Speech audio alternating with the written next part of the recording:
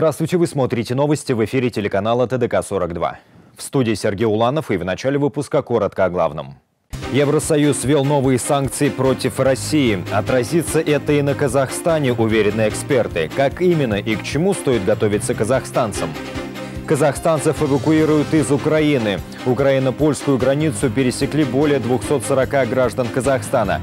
Первый репатриационный рейс уже направляется в республику.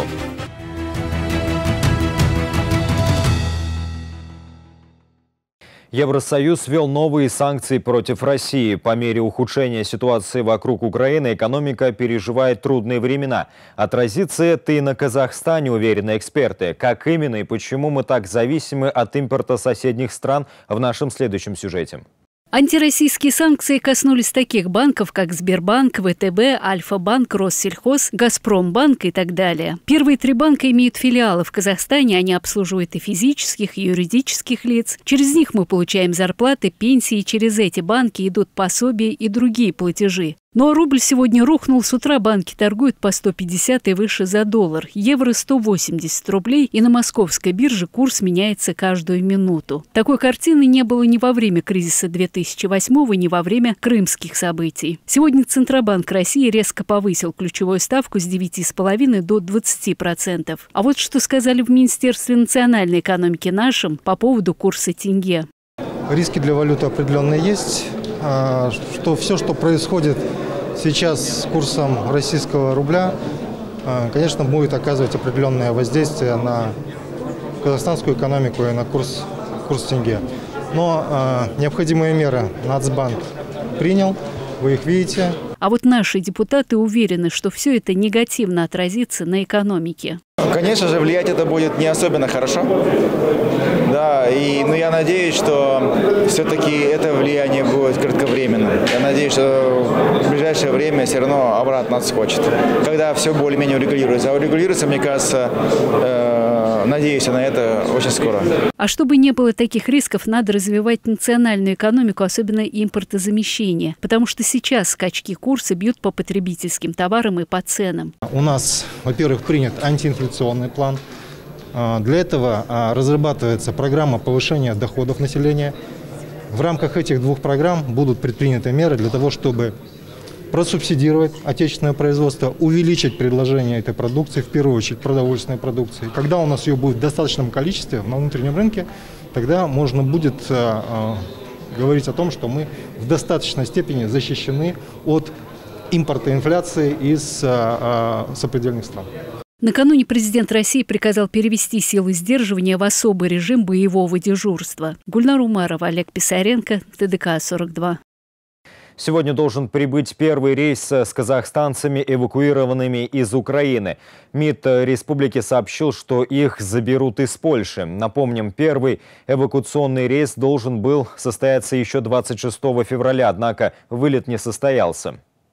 Казахстанцы по разным причинам, оказавшиеся в этой ситуации, обратились в МИД и посольство за помощью. Стоит при этом понимать, в какой обстановке работают консульства. Оказалось, что в Украине всего 8 дипломатов на всех желающих. Накануне на границе находились четыре автобуса с казахстанцами, в каждом по 40-50 человек, и, к слову, автобус от Киева и любого другого города Украины до польской границы стоит 15-20 тысяч долларов посольстве таких денег нет, а переводы не работают. Так что консульства работают за свой счет. За свои деньги почетные консулы отправляют людей домой, еще помогают неравнодушные граждане и волонтеры. Дипломаты из Варшавы встречают наших на границе. Кстати, в Польше развернуты лагеря беженцев.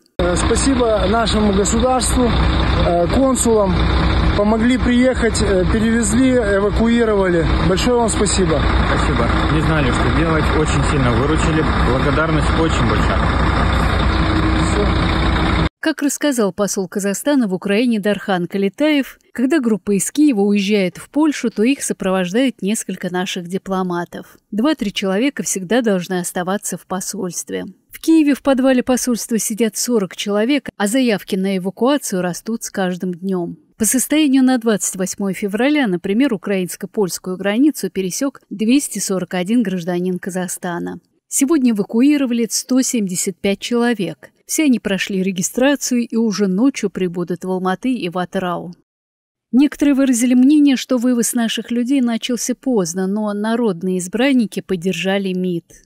Ну, я вообще считаю, что все действия нашего Министерства иностранных дел очень компетентны и взвешены. А что касается поздновато, не поздновато, да, но согласитесь, события были довольно стремительные и неожиданные, да. Так что я так не считаю. То есть они делают все возможное, и я верю, что у них все получится. Когда разрешится эта ситуация и окончатся ли переговоры миром, пока неизвестно, но на границе еще остались наши граждане, которые постепенно будут вывезены новыми рейсами. Гульнара Умарова, Олег Писаренко, ТДК-42. 50 дальнобойщиков из Казахстана не могут выехать из Украины. Среди них есть и актюбинские водители. На сегодня 11 человек уже направили свои координаты в региональную палату предпринимателей. Из-за стрельбы и взрывов добраться до белорусской или польской границы они не могут и ждут помощи от казахстанских властей. Лейла Уесова встретилась с грузоперевозчиками, чьи фуры оказались в зоне военных действий.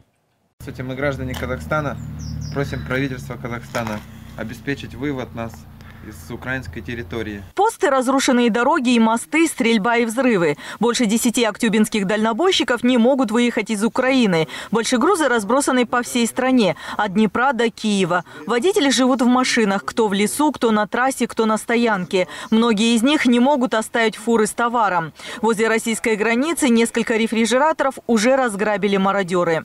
Одна машина стоит возле бомбоубежища, это возле Киева, постоянно слышит обстрелы. Мы просим нам сделать зеленый коридор для наших автомобилей, вывести водителей с автомобилями э, на территорию сопредельных государств, это Белоруссия, Польша, не знаю, Россия, на какой-то день тишины надо сделать. Нас никто не предупреждал, ну, мы работали в свою очередь в штатном режиме, э, к сожалению, остались там. Да. Нас всего насчитывается больше 50 машин, э, мы создали группу в WhatsApp, постоянно общаемся с каждым водителем, не знаем, что будет дальше, или будет еще хуже, или еще будет, или будет лучше, мы тоже не знаем в ожидании. Компании, занимающиеся международными грузоперевозками, обратились за помощью в региональную палату предпринимателей. На встрече отметили, что есть угроза как для жизни водителей, так и по обязательствам транспортных компаний в части доставки и сохранности перевозимого груза. Поэтому казахстанская сторона приложит максимум усилий, чтобы помочь соотечественникам вернуться домой. На сегодняшний день поступило в палату предпринимателей 11 сигналов от водителей большегрузных автомобилей, которые находятся на территории Украины. Машины остались как бы без присмотра. В этой связи у нас есть опасения о том, что возможно какие-то действия со стороны тех или иных лиц, и вместе с тем мы опасаемся за жизнь наших автомобилистов. Ответ ожидаем на этой неделе. Я думаю, может быть, завтра какие-то уже будут результаты. Пока ситуация не стабилизируется, поставки товаров из Украины приостановят. Из продуктов в Актубе завозят мясо домашней птицы, крупы, крахмал, кондитерские изделия, сыры и творог, а также лекарственные средства, сельхозтехнику и оборудование для нефтедобывающей промышленности, из стройматериалов, обои и другие настенные покрытия. Теперь все эти товары подорожают в разы. За прошлый год товарооборот между Казахстаном и Украиной достиг 1 миллиарда долларов, а импорт вырос на 25%. К примеру, только одна актюбинская компания совершает до 25 рейсов за товаром в Украину в месяц. Сегодня в Палате предпринимателей Актюбинской области обсудили все возможные варианты безопасного возвращения дальнобойщиков на родину. Грузоперевозчики надеются, что им обеспечат зеленый коридор до границы. Лейла Уэсова, Жумар Худайбергенов, телеканал ТДК-42, Актубе. О сложной обстановке на территории Украины рассказывают и дальнобойщики, которые проезжают транзитом по территории Западно-Казахстанской области. Они сообщают о том, что на приграничных с Украиной территориях многим водителям приходится покидать автомобили и в буквальном смысле бежать в соседние страны. В Украине сложная обстановка. Э, там сейчас идут военные боевые действия. Э, границы закрыты, э, водители спасаются бегством ну, в Польшу, на территорию ЕС, э, соседние страны. Особенно как бы знакомые вот в группах пишут белорусские, русские машины водители просто покидают и машины оставляют на границе, на таможнях и ну, собирают вещи и уезжают оттуда. Мы продолжаем выпуск и вот что вы увидите далее. Низкие тарифы не позволяют провести модернизацию сферы водоснабжения в Западно-Казахстанской области. Аким областного центра сообщил, что на эти цели необходимо порядка 33 миллиардов тенге. Последние дни уходящей зимы текущего года принесли немало погодных сюрпризов в Уральске. Из-за оттепели в городе начались противопаводковые работы.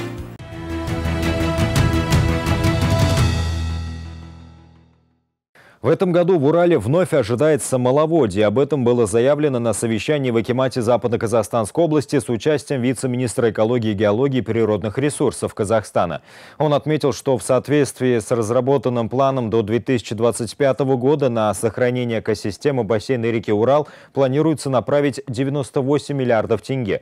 Между тем, ситуация в соседней России не лучше. Там мелеет одна из крупнейших рек в мире – Волга прежние годы среднегодовой объем стока воды в реке Урал составлял 9,5 миллиардов кубометров. Измерения проводились в течение 100 лет. В 2019 году был установлен антирекорд. Объем стока сократился почти в три раза, до 3,5 миллиардов кубометров. Это привело к пересыханию водоемов в Западно-Казахстанской области, дефициту воды для скота, уменьшению территорий сенокосных угодий. В 2021 году ситуация не улучшилась, а повторилась. И вот прогнозы на ближайший паводок. К сожалению, по предварительным гидрологическим прогнозам и в текущем следующем году, скорее всего, продолжится цикл, цикл маловодья. Особенность реки Жай в том, что 70% всего годового стока реки Жарик формируется паводка период. В свою очередь, в период маловодья до 85% всего паводка стока задерживается в водохранилище как на территории Российской Федерации, так и на территории Казахстана. В прошлом году была утверждена программа казахстанско-российского сотрудничества по сохранению и восстановлению экосистем бассейна реки Урал. Предусмотрена реконструкция и строительство гидросооружений, восстановление лесов и сохранение биоразнообразия рек. Но ученые отмечают, что на исследования средств не выделяется современный период доля стока половодья сократилась до 65% на реке Жайк. Такая же ситуация на реке Илек, Напомню, что в прошлом году возле набережной обнажилось русло реки Урал. Специалисты заявили об экологической катастрофе и призвали к решению критической ситуации. Роман Копняев, Айбулат Джигапар, Александр Грабарев, ТДК-42. Низкие тарифы не позволяют провести модернизацию сферы водоснабжения в Западно-Казахстанской области, и речь об этом шла в Акимате региона. Аким Уральскабад Шенбеков сообщил, что на реконструкцию сетей и месторождения подземных вод необходимо порядка 33 миллиардов тенге. Это позволит улучшить ситуацию с водоснабжением областного центра. Сейчас решается вопрос выделения этих средств из бюджета. Отметим, что в Уральске только за три последних года водопотребление выросло на 15%. Все бы ничего, но вместе с тем упал уровень воды в реке Урал, откуда брали половину объема питьевой воды. Поэтому сделана ставка на увеличение забора воды из подземных источников. Но для этого необходимы средства. Месторождения нуждаются в реконструкции.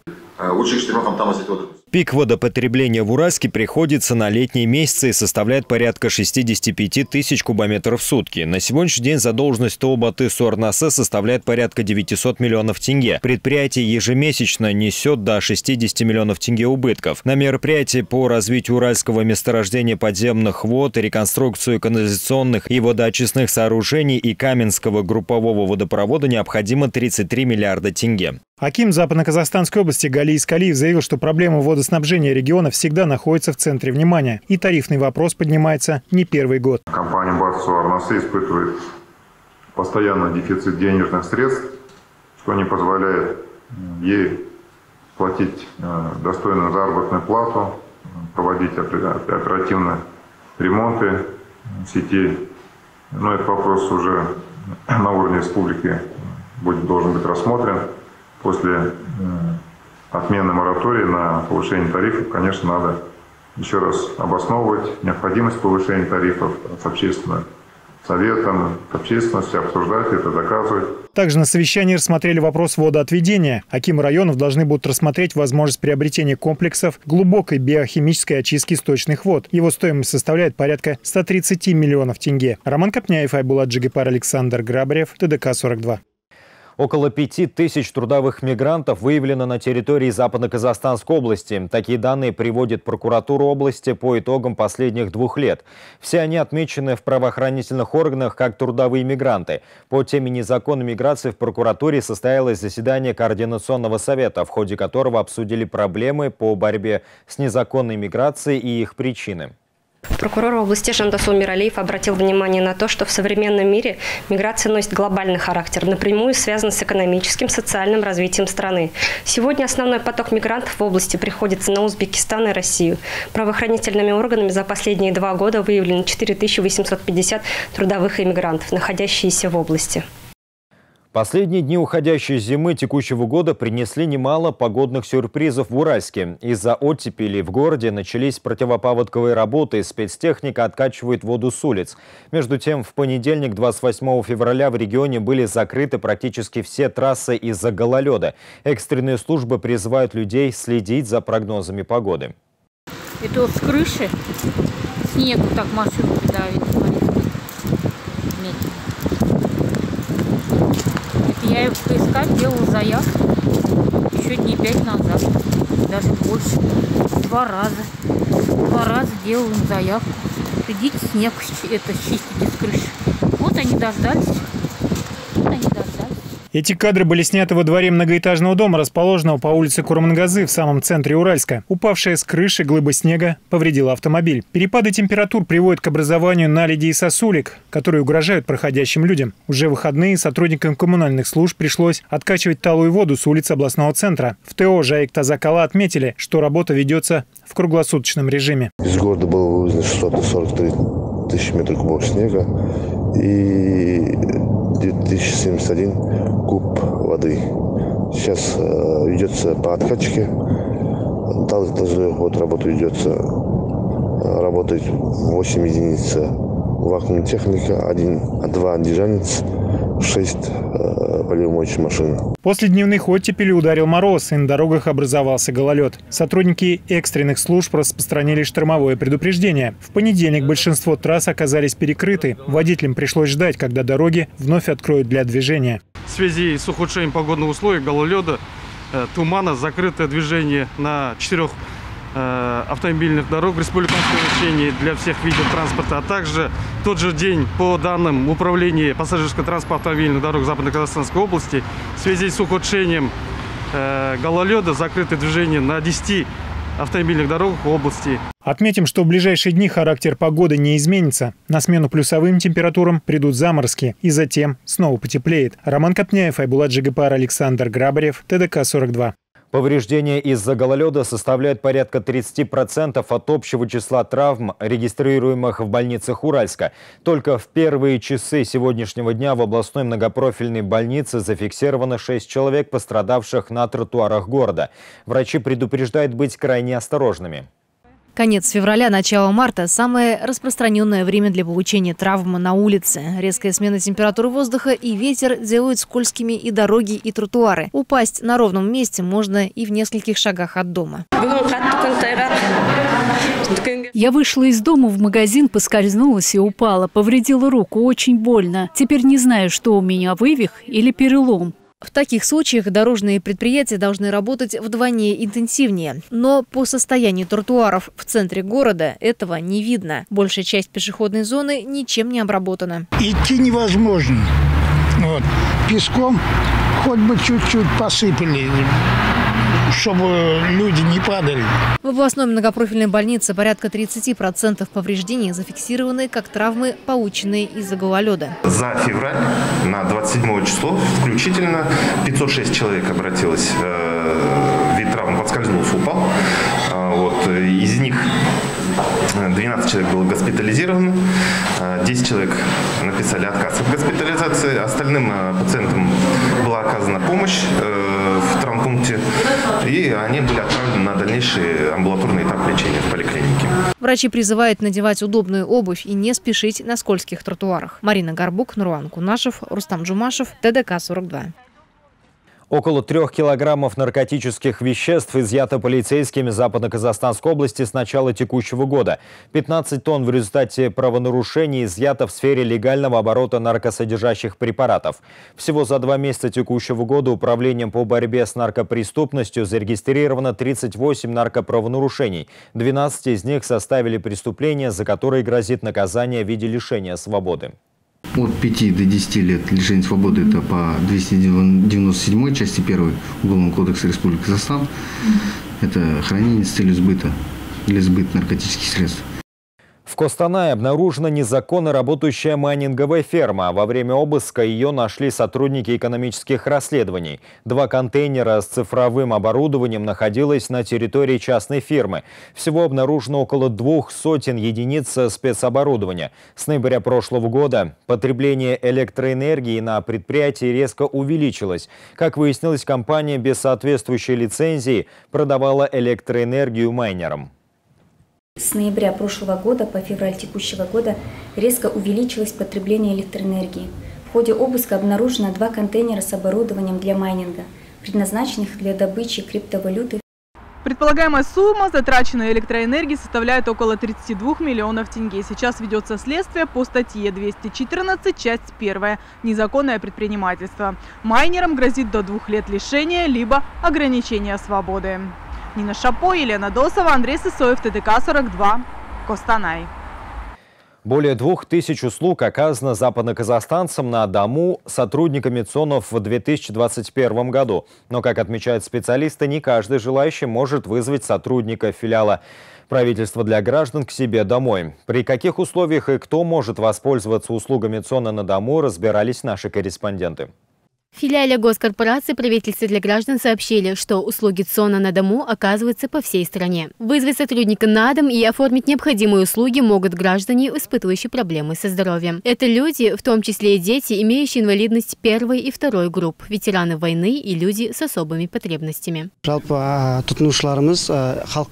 Для вызова сотрудника ЦОН на дом клиенту или его опекуну необходимо позвонить в колл-центр по номеру 1414 и оставить заявку на получение данной услуги услуги. После приема запроса операторы ЦОН свяжутся с клиентом в течение 7 рабочих дней и уточнят, все ли необходимые документы есть в наличии. Следом они назначат дату и время для оказания госуслуги с выездом на дом. В день поступает около 15-20 заявок на данную услугу. Среди наиболее часто запрашиваемых госуслуг – выдача паспортов и удостоверение личности, обеспечение инвалидов обязательными гигиеническими средствами, также подготовка документов для оказания инвалидам протезно-ортопедической помощи. Сейчас, в период период непогоды вызвать специалиста на дом и получить необходимую услугу очень удобно, рассказывает участник ликвидации Чернобыльской катастрофы.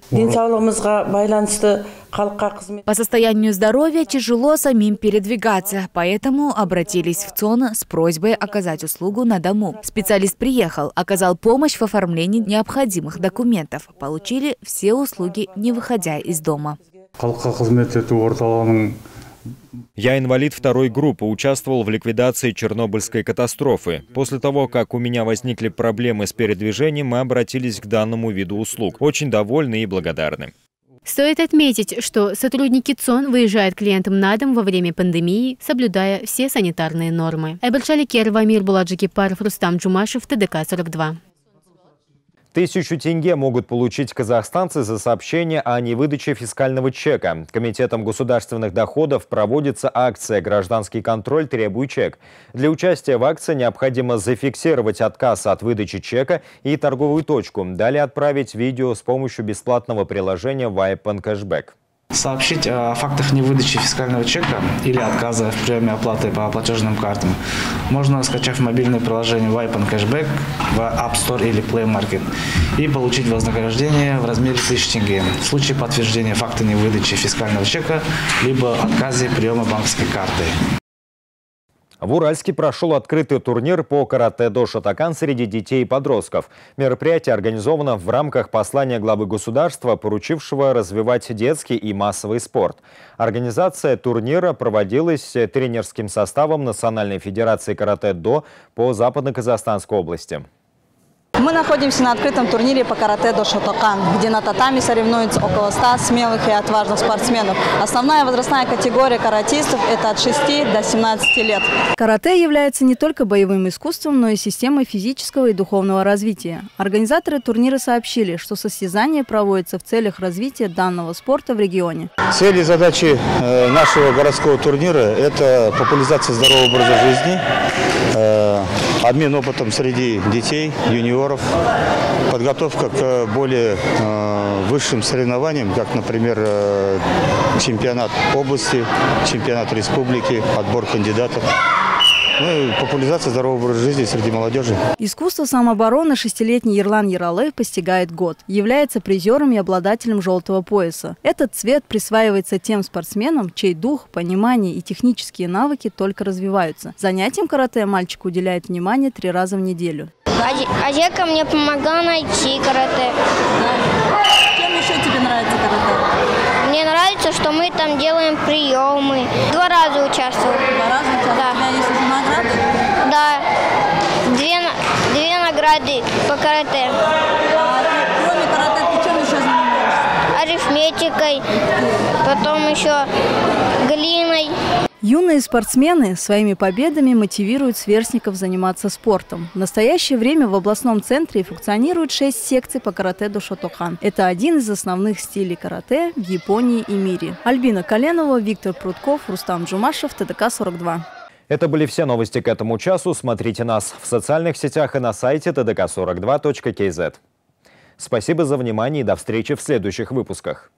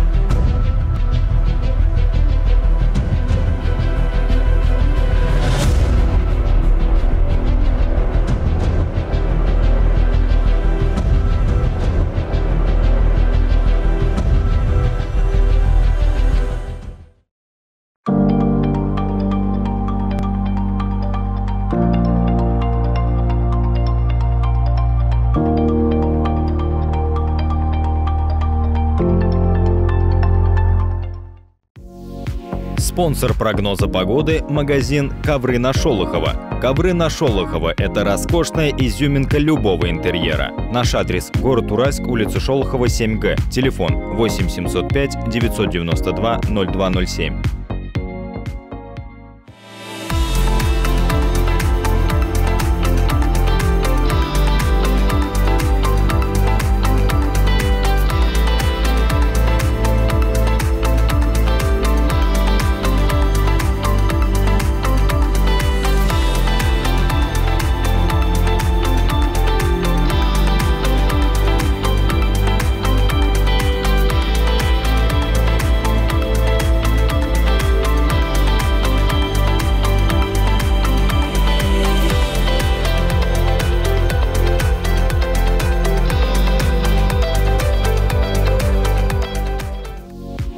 Спонсор прогноза погоды – магазин «Ковры на Шолохова». Ковры на Шолохова – это роскошная изюминка любого интерьера. Наш адрес – город Уральск, улица Шолохова, 7Г. Телефон 8 705 992 0207.